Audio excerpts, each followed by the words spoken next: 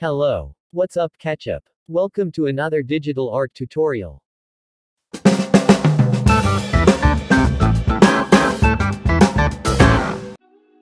Hi there, today we are going to discuss more about digital inking.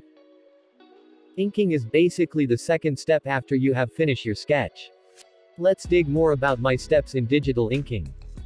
But before we start, if you are new to this channel, please support by hitting the subscribe button and ring the notification bell in order for you to become updated with upcoming videos. First step is to set your predictive stroke. Predictive stroke is a tool from Autodesk Sketchbook that allows your line art to become smoother. Basically from the name itself it can predict the strokes of your hand or line art. You can set your predictive stroke up to number 5, but for me number 2 to 3 setting is fine.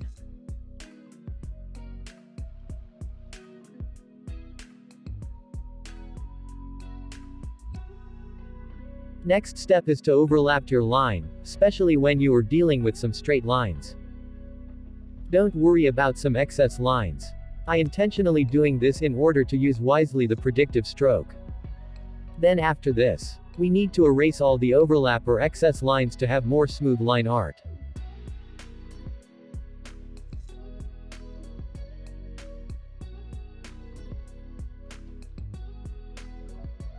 Now let's have an actual example. I have here a rough sketch of Izuku Midoriya from My Hero Academia. Let's apply our lesson about digital inking.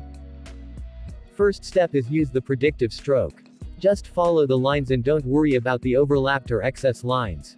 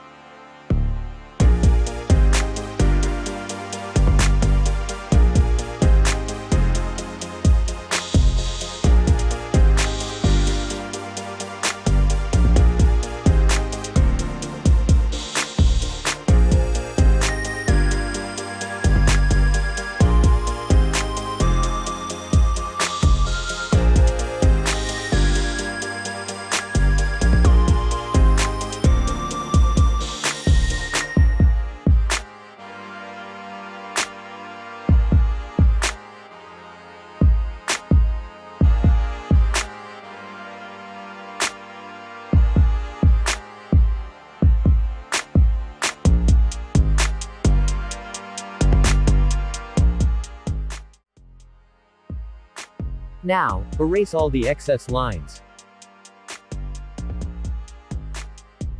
Again, just follow the straight line or the curve of the line that you are dealing with.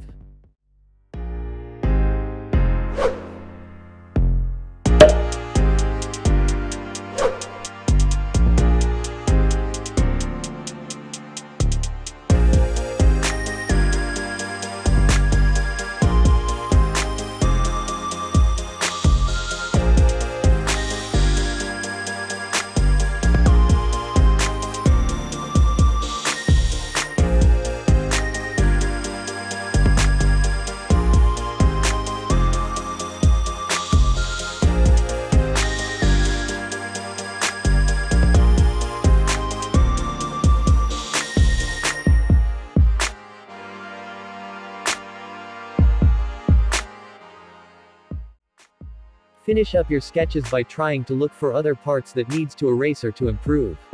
Again in doing digital inking or other art related stuff, patience is the most important ingredient.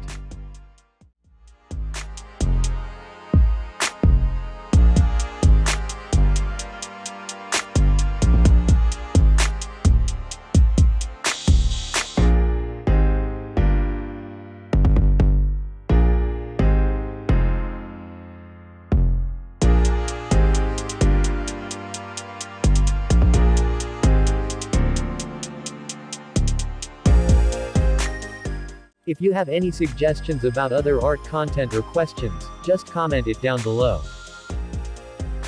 Just keep on doing art. Because Earth without art is just an A. Until our next tutorial. Stay safe always.